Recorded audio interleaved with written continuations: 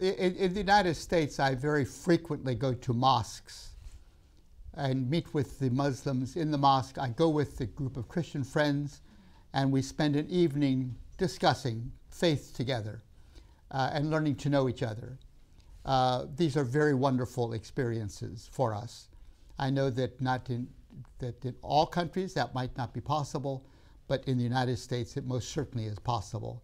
And the Muslims always welcome us very energetically. Grateful for that. On one occasion, uh, our Muslim Imam friend uh, was spending the evening describing the five pillars of duty and the five pillars of belief within Islam.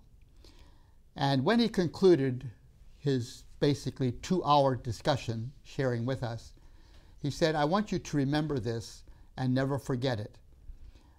Um, within Islam, there is nothing surprising because Islam is the religion of the natural man. Islam is fully rational, fully philosophical.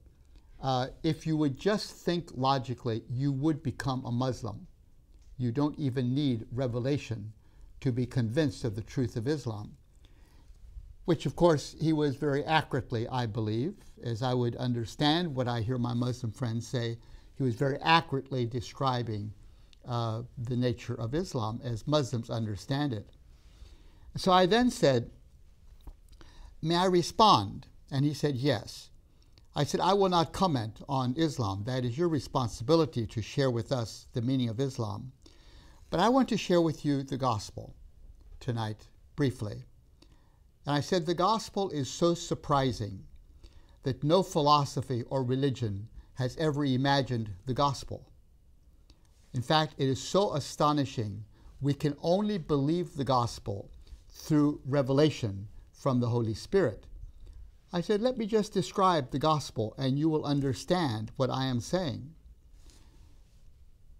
We believe, as do Muslims, here we agree completely, that God created the heavens and the earth, that the 50 billion galaxies in space, each one of which is comprised of some 30 billion stars, each of these amazing galaxies out there in space.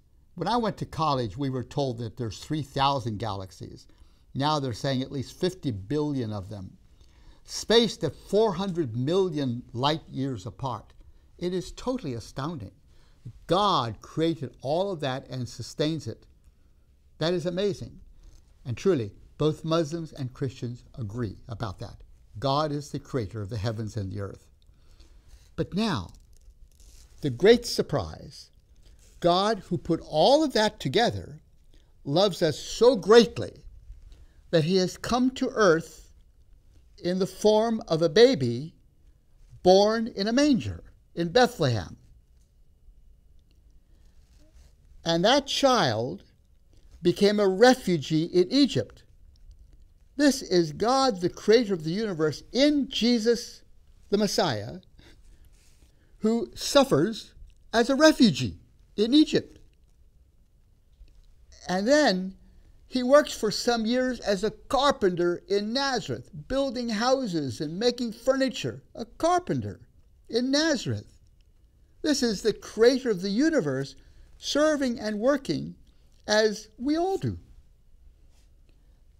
And when he began his preaching ministry, he often did not have a house to sleep in, and a pillow became, a stone became his pillow. And as his ministry came to a conclusion, he is arrested and spit upon and beaten and mocked. And he's put on a cross between two thieves. Those outstretched arms on that cross is, the, is God with us. He is the one through whom all creation is brought to pass and is sustained. And all the hatred and the rebellion of the whole universe and of all humanity goes crashing upon him on that cross. And what does he do? He cries out in forgiveness. Outstretched arms are for inviting. Outstretched arms are for forgiving. If I come to you like this, it means I want to forgive you. I want to be reconciled to you. I want, I want us to be welcoming to one another. I want you to become my friend. Outstretched arms. And that's the outstretched arms of God on that cross as Jesus is crucified. And in his resurrection, he commissions us who believe in him to go forth and to share his love to all nations. He entrusts to us that awesome responsibility. Truly, this is the gospel. And it is so astonishing that no philosophy or religion has ever, in its wildest imagination, imagined the gospel. But it's God's gift to us. This Jesus who loves this way is God's gift to us. We're invited to accept his forgiveness and his embrace. That's the good news of the gospel. And it is through the Holy Spirit, the Spirit of God, that our hearts are opened to receive and to believe this astonishing good news. So, in five minutes, that's what I shared in the mosque that night. The astonishing good news of the gospel. So amazing. I like philosophy. I study philosophy. I teach philosophy in university. For some years, I've taught philosophy enjoy it very much. But I have never met any philosopher who has imagined that God could love that much. Never. We learn this through revelation, through the gift of the Holy Spirit. So when I went to Bumangi with my grandchildren last couple summers ago, and the church that my parents had helped to plant was filled with 750 people, I believe it was, children, choirs, young people, old people singing. And in the middle of that church service, this old, old woman who was one of the first believers among the Zanaki, she's bent over with arthritis, and she came into the center of the room holding up a tattered old book, a small book, a little gray book and she held this up as she started to dance. This book tells all about it. This book tells all about it. Everyone believe what this book says. The book she was holding up was the Gospel of Matthew that my dad had translated into the Zanaki language back there 70 years ago. And she's holding this book up, you know. this tells all about it. For Jesus in Matthew is Emmanuel, God with us that God loves so greatly, He has come and lived among us and redeems us. She was holding up this book, singing with so much joy, this old, old woman. She never studied philosophy, but she knew the wonder of it all. How did she know that? Through the Holy Spirit. Through the Holy Spirit, you see? So that's what I tried to share in the mosque. And the Imam said, It is impossible for God to love that much. It cannot be. And I, I, I begged him, I plead with you, do not put God in a box. Let God love you as greatly as he does love you. Don't say, no, that's impossible.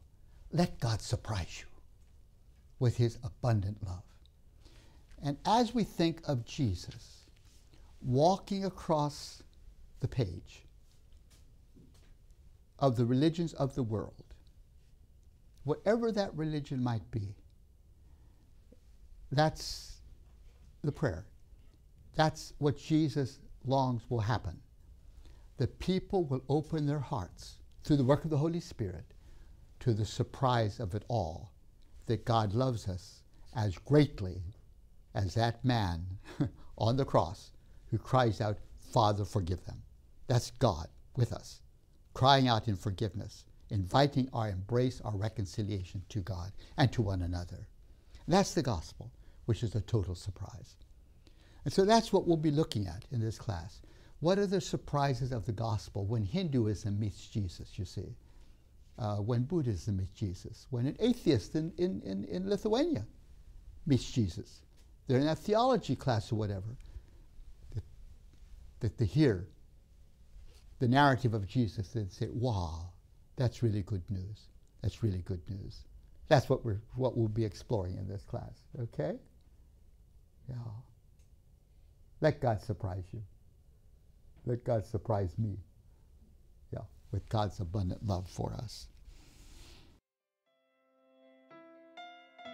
TVS Seminary is a great way to invest in the kingdom of God.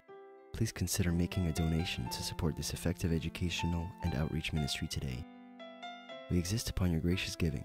Please donate to support TVS Project's continuation and growth. For more information, visit tvsseminary.com.